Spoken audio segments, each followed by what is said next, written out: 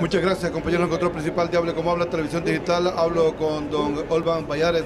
Don Olvan, ¿cómo poderle buscar una solución a este conflicto que está viviendo especialmente el sector transporte? Hoy nuevamente dos buses han sido quemados en la zona norte del país y esto sigue como eh, que aquí no pasara nada.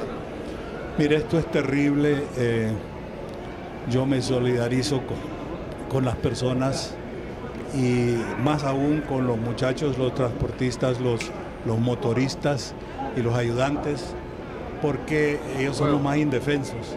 Ellos son los que están en la primera línea de fuego y son los que deben llamar la atención de las autoridades.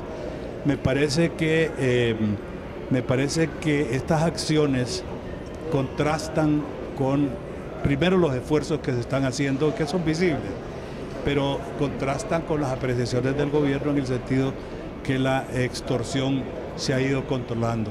Me parece que eh, algo está pasando internamente, me parece que las unidades de investigación no están siendo eficientes, posiblemente porque no son suficientes.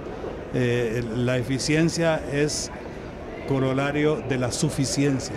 Si hay suficientes fuerzas equipadas, eh, adiestradas, para que puedan estar desplegando una labor de vigilancia y de inteligencia en los barrios, en los lugares donde las poblaciones saben dónde viven la gente que extorsiona.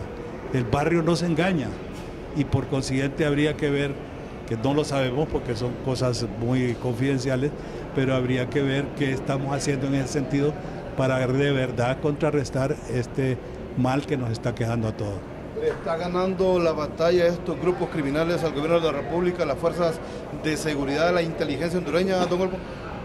Pues la percepción es esa. Eh, yo solo puedo hablar de percepción porque no veo estadísticas. No nos dan estadísticas y las estadísticas que nos dan no son muy creíbles porque uno siempre tiene aquella malicia de que puede ser que sean estadísticas arregladas.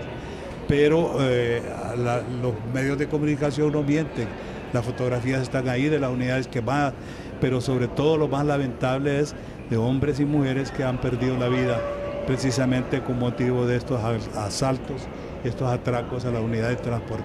¿Se puede denominar como actos de, terrorismo esto, estas acciones? Bueno, llega un momento en que es terrorismo. Cualquier acto que tienda a crear en la, en la población un sentimiento de miedo, eh, de, de constricción, de, todo eso es terrorismo y debe ser atacado con la misma dureza o con la misma fuerza en que el fenómeno ataca a la sociedad.